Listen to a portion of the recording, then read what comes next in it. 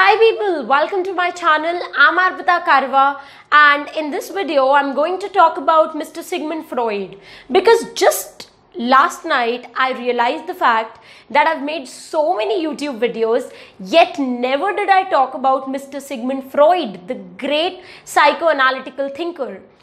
I've been reading his book since a long time and I have been fascinated by the ideas, by the theories given by him. Yet, I find that these theories, when applied in literature, are going to make literature even more fun, even more engaging, and even more entertaining. So, let's talk about Sigmund Freud's theory of personality in this video lecture.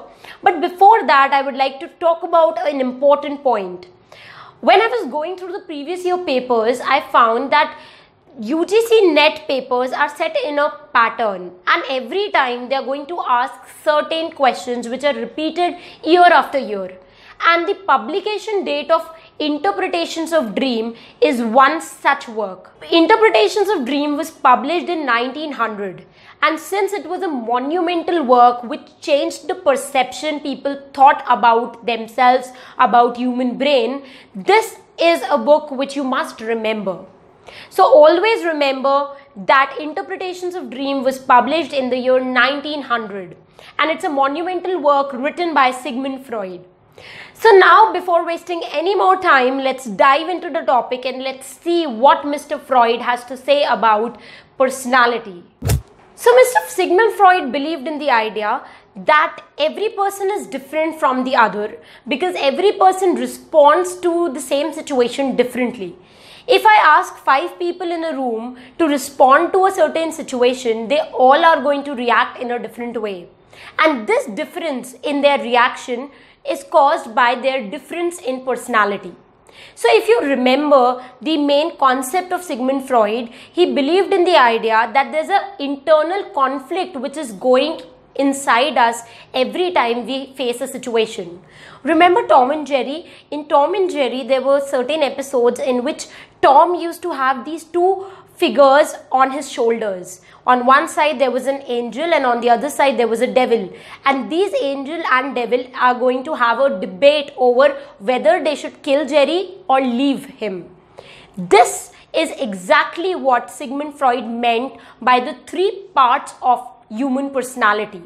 According to Sigmund Freud, everybody is having three parts in their personality id, ego, and superego.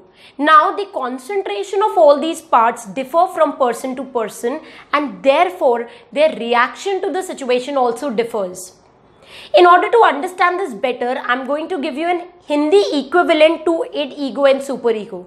I'm pretty sure that if you are interested in Hindu mythology, you must have come across the term Rajogun, Satogun and Tamogun. So these are the three things which everybody has in himself and this is going to decide how you are going to respond to a situation.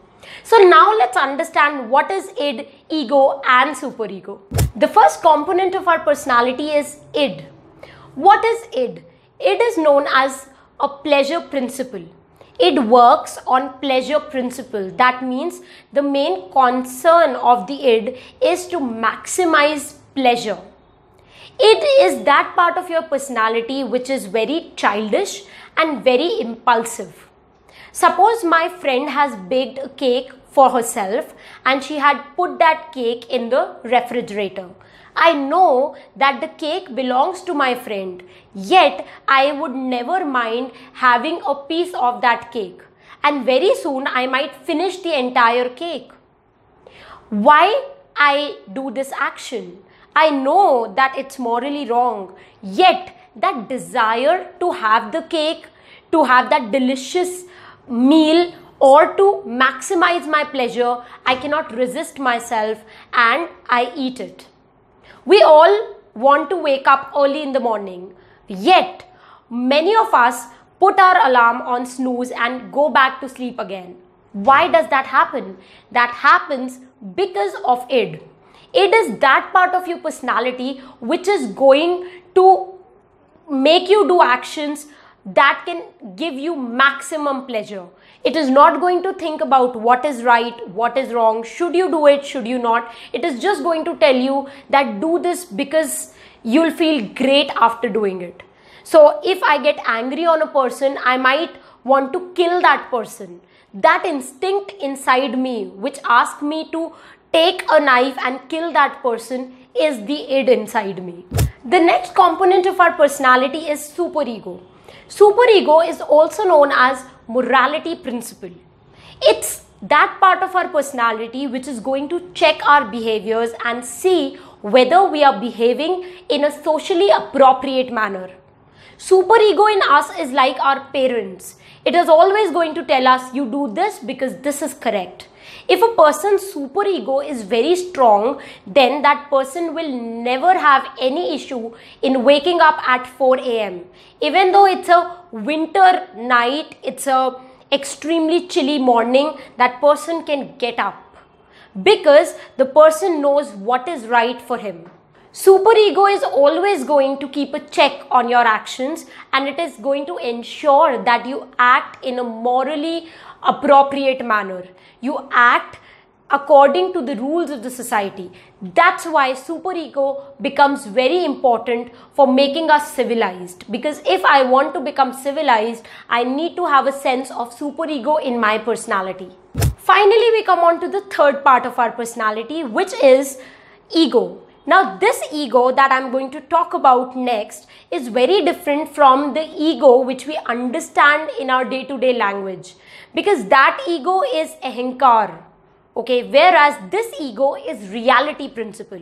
It's a part of your personality which is going to make a balance between id and superego. We all know that extreme behavior is always harmful. In Hindi, we say Ati Sarvatra Varjyati. That means don't follow an extremist path. If you look at id and superego, they both are extremes. It says do whatever gives you pleasure, whereas superego says that you need to be morally upright.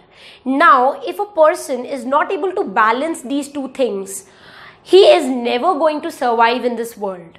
So, ego is that part of your personality which is going to fulfill your ids in a socially appropriate manner.